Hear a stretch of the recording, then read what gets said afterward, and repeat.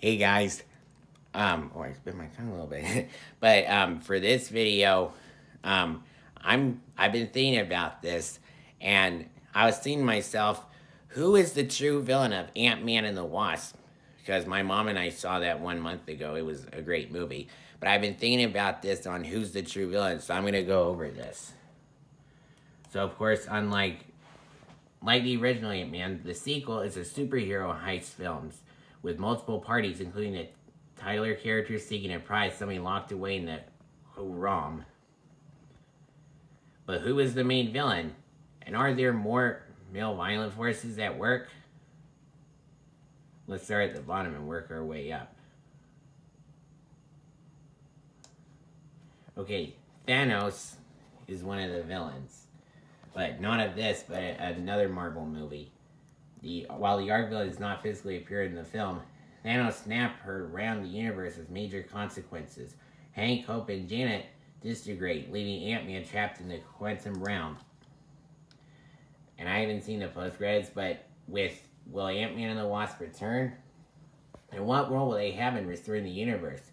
And I, when fans will find out why, in May 2019 when the Infinity War sequel is released. Which I'll definitely see that I've seen the first one. But let's keep going up. Like Elis, Bill Foster is a former colleague of Hank's. Pym enlists Bill's help in tracking his portable lab, which Ghost steals. After Hank, his daughter Hope and Ant-Man are captured. Bill reveals he's been helping Ghost all along. Their goal, like Hank's, is to extract Hank's wife Janet from the quantum realm. But instead of rescuing her, they want to use the quantum energy Janet has stored to heal Ava. Now it's Ghost.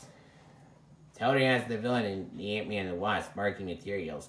Ghost, aka Ava Starr, actually knows the value of him Pym's research. Her father, Elis, was a former partner of Pym's who was fired and discredited. Elis and his wife were killed when one of his quantum energy experiences went away. The accident left Ava in a state of molecular disequilibrium, allowing her to phase through solid objects. Unfortunately, her powers are also killing her, so she turns to Sun now Sonny Burch. Many of these films have small-time criminals, and in Ant-Man and the Wasp, it's Sonny Burch, a black market dealer who possesses more iron muscle than bravery. Burch is having a cut and run. He's determined to make a profit off Hank Pym's research without really understanding it, going so far as to steal Pym's portable lab. Then, Agent Wu is determined to prove Scott Lang slash Ant-Man is violating his house arrest, played to bumbling perfection by Randall Park, who stars on the ABC sitcom Fresh Off the Boat. Wu hopes by catching Lang outside so that he can lock him up in a federal facility. Unfortunately for Wu, Lang, find, Lang finds creative ways of duping Wu, including attaching his ankle monitoring bracelet to a giant ant. Now,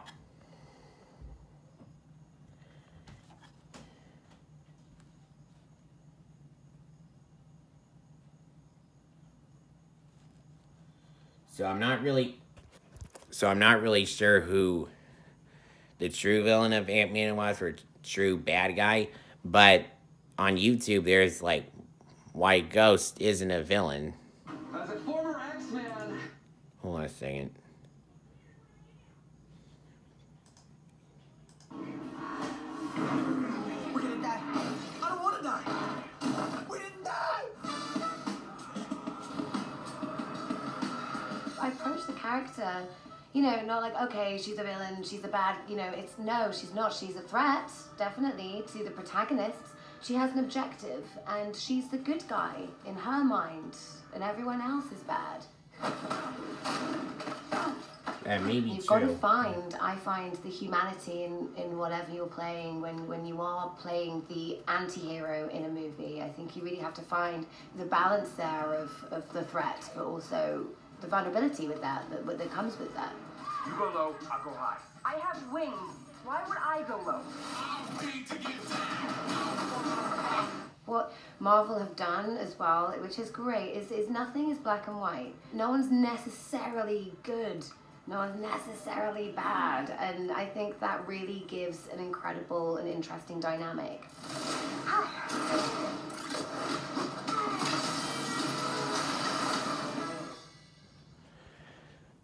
So I guess that's why Ghost isn't a villain in Ant-Man and the Wasp.